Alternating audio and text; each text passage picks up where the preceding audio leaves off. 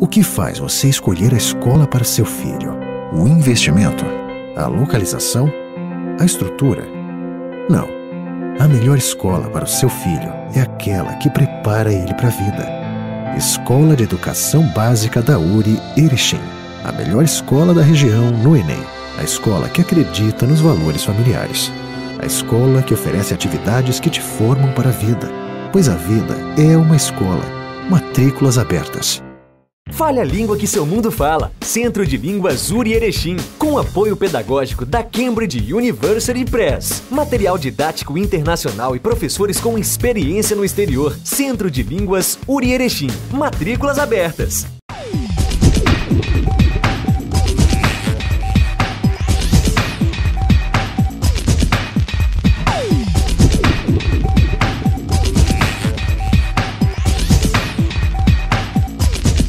Olá, amigos, tudo tranquilo? Tudo na santa paz aí, na, na sua família e as, junto aos amigos e familiares?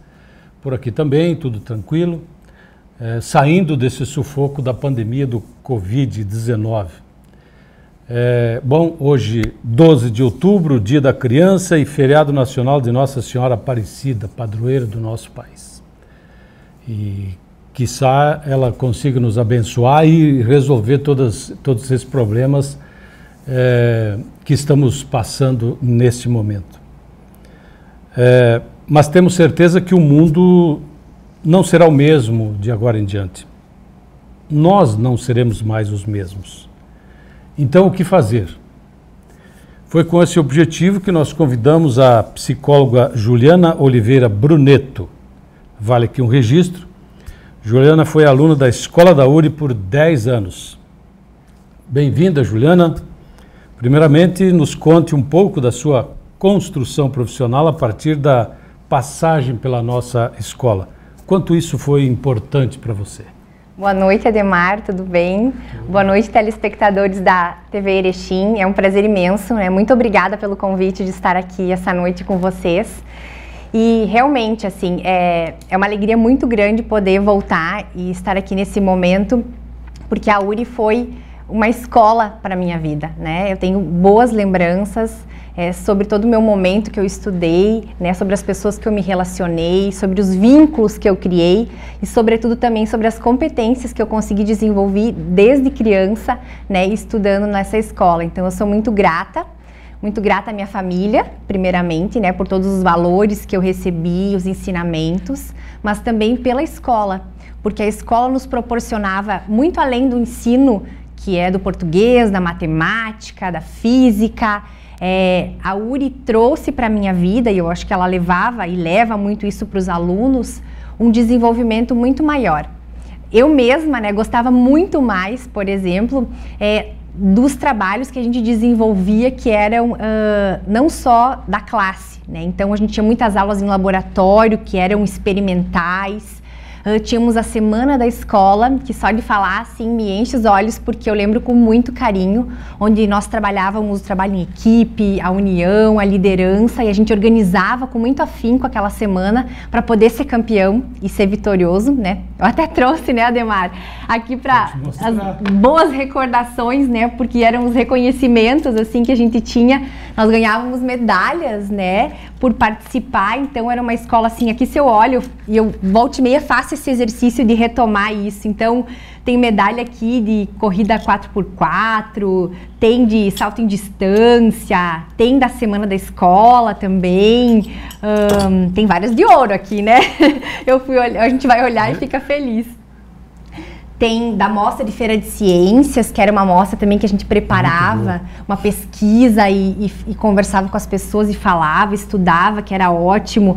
Então tem muitas recordações positivas né, nessa minha caixinha aqui, porque ela nos experimentava, né, fazia com que a gente tivesse muitas experiências. E, e hoje, assim, podendo estudar mais o desenvolvimento humano, as pessoas, a gente vê o quanto isso é importante, né, para o desenvolvimento de um ser humano.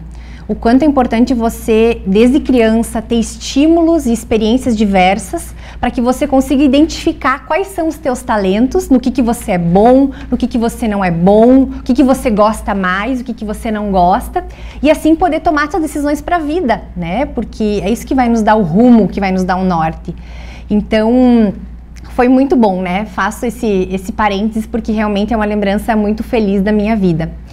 E depois de lá, então, eu me formei em psicologia, né? Fiz algumas especializações. Pois é, eu te pedi, mas já, já, naquela época tu já tinha decidido ser psicóloga?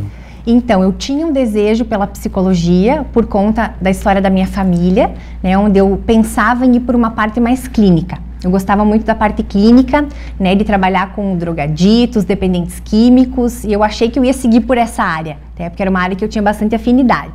Inclusive fazia muito trabalho voluntário, né, ajudando desde aquela época.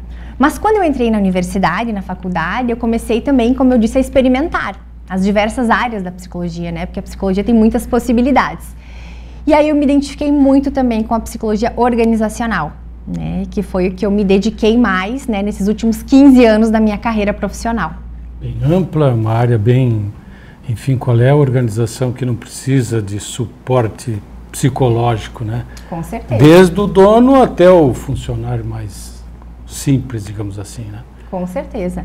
É um investimento que faz a diferença, especialmente nas empresas que pensam em ter uma sustentabilidade, né, uma perenidade no mercado. Investir em pessoas é fundamental.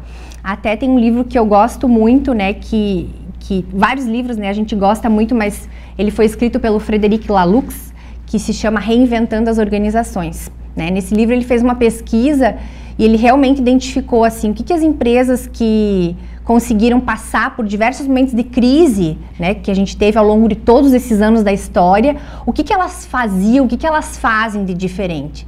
Né? E o fator humano de lidar com a diversidade, de conseguir administrar e investir de fato nas pessoas, é realmente um dos diferenciais com que faz com que essas empresas perpetuem no mercado.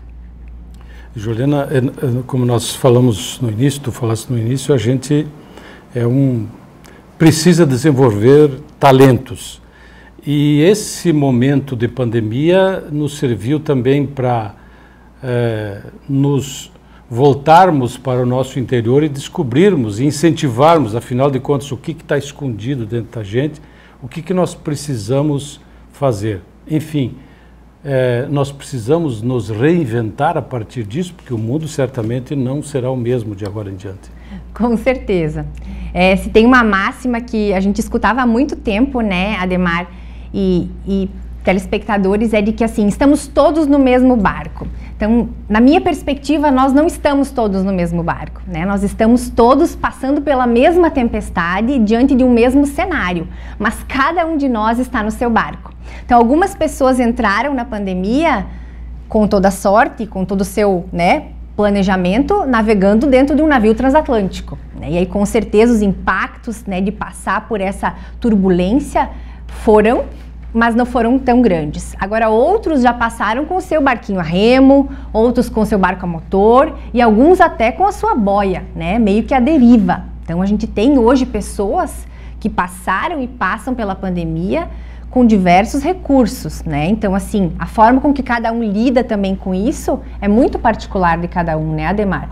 É, os recursos internos que eu vou ter para passar por ela, ele é muito diferente. Então, é um, algo muito particular. Mas o que, que, eu diria, né? Até lembrando lá das aulas do professor Claudio Mir Martinazzo, né? Lá da aula de biologia, lá que ele nos ensinava desde a época do primeiro grau, né? Então, Charles Darwin, podendo lembrar dele, né? Ele dizia de que não são os mais inteligentes, né, que sobrevivem, nem os mais fortes que sobrevivem, e sim aqueles que vão estar aptos a se adaptar às mudanças.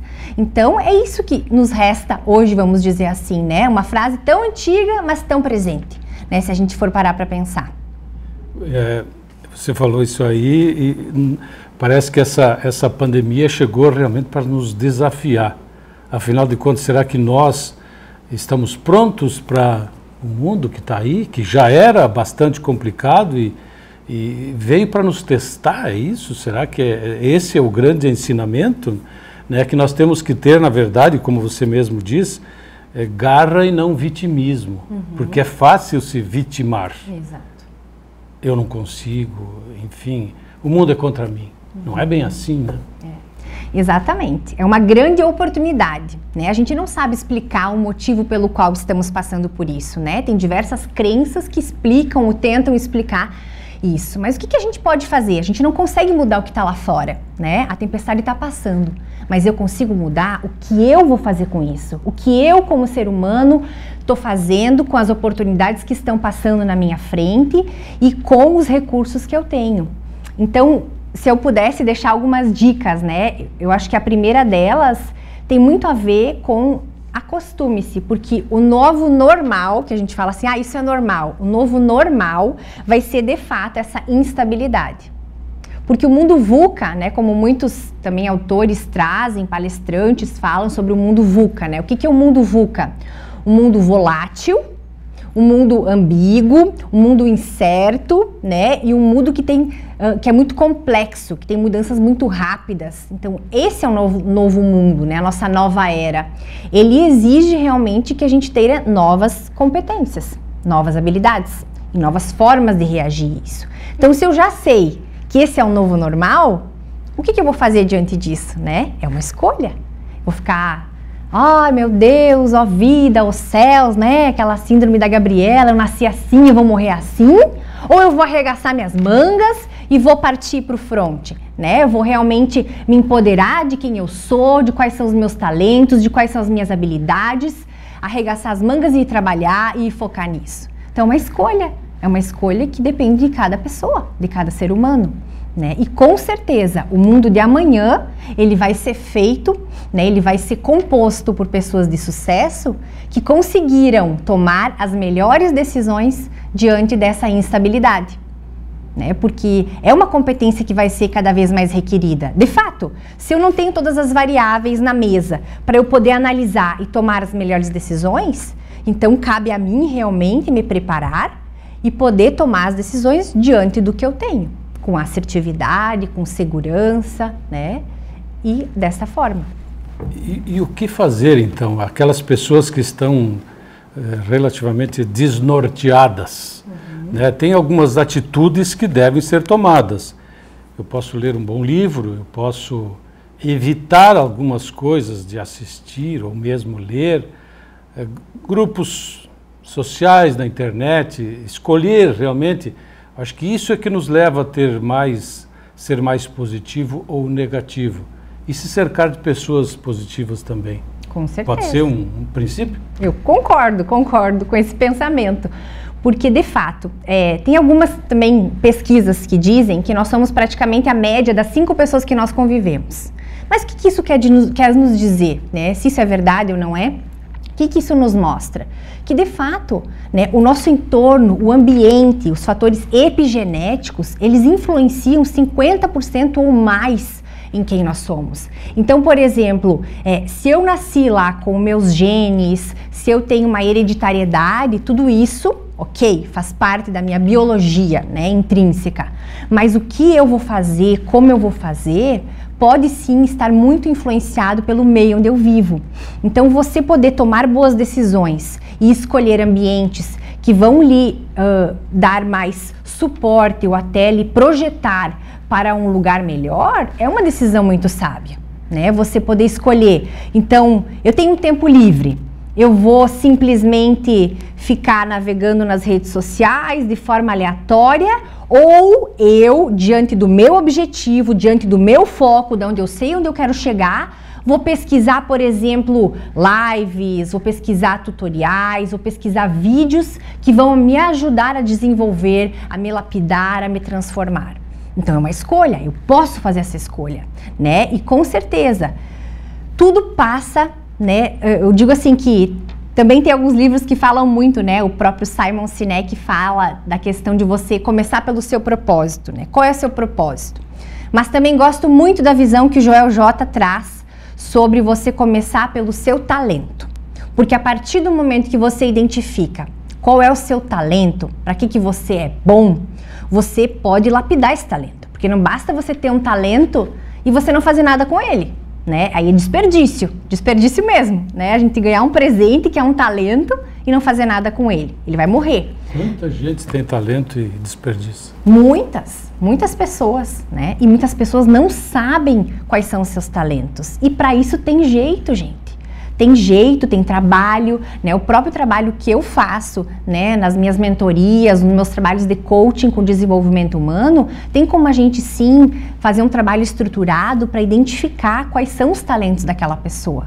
Porque o talento ele existe para nos mover desde que a gente nasce até o dia que a gente morre né? Porque quanto mais a gente tiver empoderado disso, a gente consegue tomar boas decisões, fazer boas escolhas. Inclusive, se eu sei, vamos supor, né, que eu tenho uh, determinadas determinado talento. Vamos pensar assim num jogador, num atleta, né? Ele nasceu com físico, com habilidades e ele tem determinado talento. Ele tem escolha. Ele pode não fazer nada com isso e deixar esse talento adormecido, ou ele pode investir, se esforçar, treinar, lapidar, ter iniciativa. E daí são alguns elementos importantes para quando a gente toma uma decisão de fazer boas escolhas no nosso dia a dia, que a gente pode considerar. Que é a questão física, né? Se eu tenho o físico para isso, é a questão do ambiente onde eu estou inserido, então as escolhas que eu faço, seja de leitura, seja de, de, desenvolvimento, do curso, tudo que eu faço dessas minhas escolhas, né, onde é que eu vou estar inserido, e também com relação é, à ignição, que é a minha iniciativa, porque eu preciso ter iniciativa. As coisas não vão cair do não céu na minha mão, né? Então, Cai do céu é chuva de pedra e mais alguma coisinha. Exato. É exatamente isso. Então, assim, eu preciso ser responsável pelo meu presente e pelo meu futuro. É, você usa, e, e, há pouco você falou do Joel J., ele tem uma frase que diz: O esforçado só vence o talentoso quando o talentoso não se esforça. Perfeito. Eu concordo plenamente com essa frase. Se a gente for parar para aprofundar a semântica dela, de fato, aquela história de que a pessoa que é esforçada e que não tem o talento vai ganhar do talentoso só acontece se, de fato, esse talentoso for preguiçoso e não se desenvolver. Porque senão, meu amigo, se você descobre qual é o seu talento, se você lapida o seu talento diariamente, se esforça para isso, não tem para quem pega você. Você vai arrasar, vai ter sucesso, vai ter felicidade, que é algo muito que as pessoas procuram hoje em dia, vai ter realização profissional e também vai se sentir é, fazendo coisas como se a gente estivesse nas horas vagas, sabe? Naquele momento de flow que a pessoa, que tanto muita gente pessoas falam hoje em dia, quando você entra em estado de flow, é porque você está fazendo aquilo que você gosta, é aquilo que é do seu talento, da sua natureza. É como se você dissesse assim: eu nasci para isso, eu tenho perfil para isso. Então, dessa forma, você realmente consegue né, uh, ter um bom desempenho, um bom resultado. Você falou de felicidade, é o que todo mundo busca. Mas uh, para isso também tem que ter bastante esforço.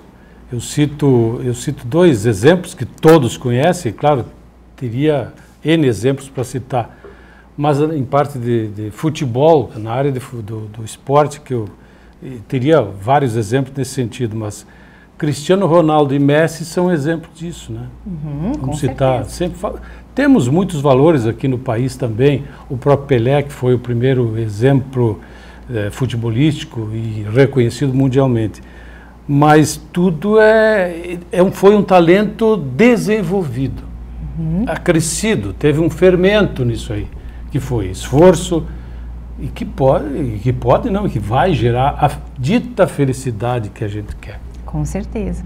Muitas pessoas, tem até uma frase que eu publiquei um dia que as pessoas acabam vendo muitas vezes os teus resultados e dizem: "Nossa, olha como ela tem sorte, ela chegou lá, né?" mas ninguém sabe dos tombos que você percorreu, das coisas que você abriu mão na sua vida para poder chegar lá, dos sacrifícios que você fez. Porque muito provável, tanto para o Cristiano Ronaldo, quanto para o Messi, para o Pelé e outros tantos né, fenômenos que a gente vê assim muitas vezes na área dos esportes, é, a gente só vê e fica com a parte boa, né? Mas a gente não vai acompanhar o dia a dia, porque o dia a dia é feito de muita disciplina, de muita diligência, de muita direção e foco. Eles sabem o que eles querem, eles sabem onde tem que chegar e, e fazem isso repetidamente até aprimorar, aprimorar, aprimorar esse talento. Então é isso, né? Não é treinar é, uma vez, duas vezes, três vezes, não. É treinar permanentemente. Permanentemente, não isso mesmo. Estamos falando apenas na área esportiva. Estamos De falando alguma em qualquer outra área. Em qualquer área, Ademar. Médico, um psicólogo, um jornalista, se não praticar, não vai atingir seu objetivo. Perfeito. Perfeito. Até se a gente vê assim, né, Ademar, ah, muita gente pergunta assim, tá, mas eu não tenho o hábito de ler. Como é que eu faço para desenvolver o hábito de ler? Eu não tinha o hábito de ler. Né? E aí a gente tem técnicas para isso, a gente pode se desenvolver. Então, por exemplo, eu não vou ler uma hora por semana. Eu vou começar lendo cinco minutos todos os dias. E aí eu vou treinando o meu cérebro, eu vou criando novos caminhos neurais para que isso vá se fortalecendo e eu desenvolva um hábito. Se eu conseguir fazer isso por 21 dias, eu vou ter isso instalado em mim. E se eu conseguir perpetuar por 30, com certeza isso já vai ser uma rotina, um hábito muito mais natural. Eu consigo treinar o meu talento também. Então isso é importante. Quando eu quero algo para minha vida, eu estabeleço, eu defino e existe método e prática para poder desenvolver. É, você falou em leitura. Realmente tem aquele gosto da leitura que vem desde cedo e outras outras pessoas, muitas outras pessoas precisam e você é prova disso porque você nós somos prova disso porque passamos pela escola. É, quantos colegas tinham dificuldade de escrever, de ler?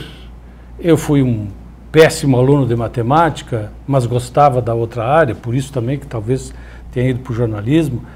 Mas é, tem, é, se, se vale aqui uma dica é Identifique o que você gosta de ler. Perfeito. Não precisa gostar de ler química, física, inicialmente, isso você vai precisar também. Mas eu, eu, eu, cito um exemplo de um professor que eu tinha em Porto Alegre, num cursinho, que dizia: leiam o que aparecer na frente de vocês, nem que seja bula, bula de remédio. Comece por aí. Você vai precisar tomar o remédio, então leia o que está escrito quem sabe você se identifica com alguma coisa. Então, a informação ela pode estar em qualquer página escrita, né? não, há, não há depois vem o gosto pelos livros, pelos jornais, pelas revistas. Exatamente. Tu vai se completando, tu vai se construindo, é isso? É isso mesmo, exatamente. A gente precisa experimentar. A vida é feita de experimentação, né? Uh, todos os autores ou muitos autores do desenvolvimento humano, principalmente da criança, eles falam que é importante a gente propiciar diversas experiências para a criança, né? E eu cito o meu exemplo mesmo. Desde criança minha mãe me colocou fazer o balé, o jazz, a patinação. Eu fui patinadora lá da URI também, né, das aulas do sábado, jogava vôlei. Ou seja, eu degustava muitas coisas e eu conseguia distinguir isso eu não gosto, isso eu gosto.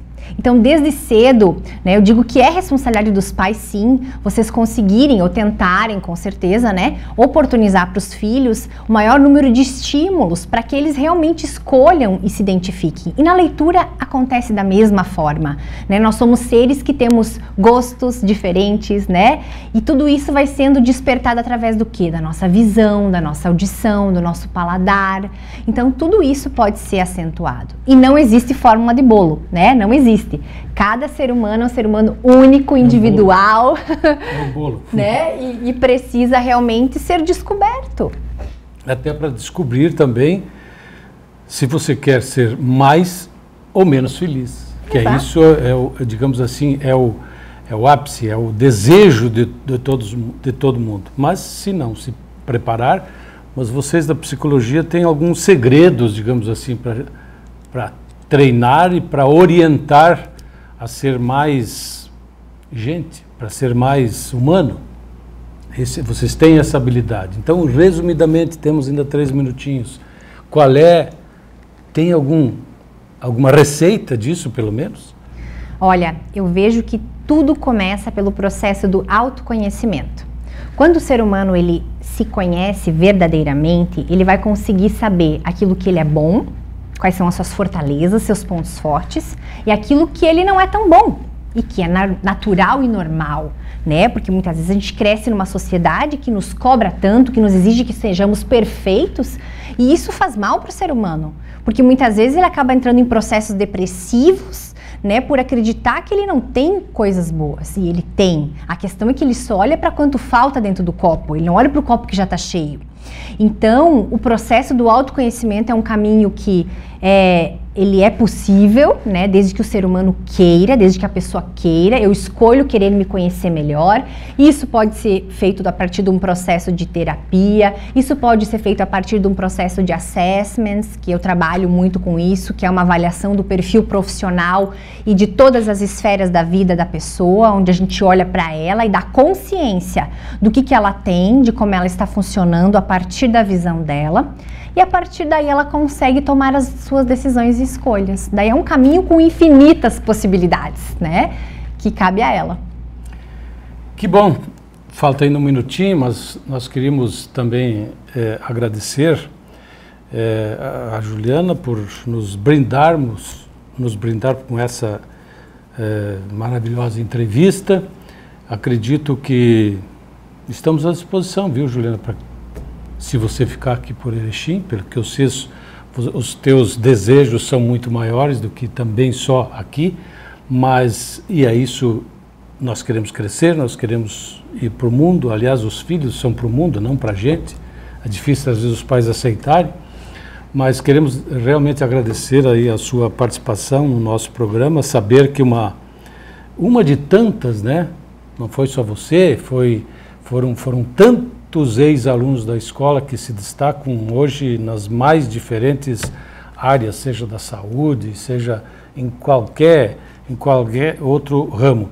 E certamente nós é, traremos essas pessoas aqui em outras oportunidades. Mas parabéns pelo seu trabalho, pelo seu esforço, pelas suas conquistas. Mais uma vez o nosso agradecimento e aí você aí de casa que semanalmente nos prestigia, também queremos deixar aqui o nosso muito obrigado mais uma vez. Até a semana que vem.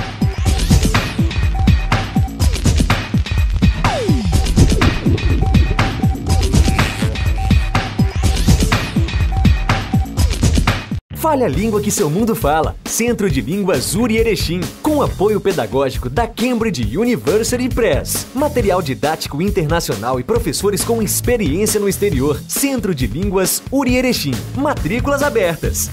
O que faz você escolher a escola para seu filho? O investimento? A localização? A estrutura? Não. A melhor escola para o seu filho é aquela que prepara ele para a vida Escola de Educação Básica da URI Erechim. A melhor escola da região no Enem. A escola que acredita nos valores familiares. A escola que oferece atividades que te formam para a vida. Pois a vida é uma escola. Matrículas abertas.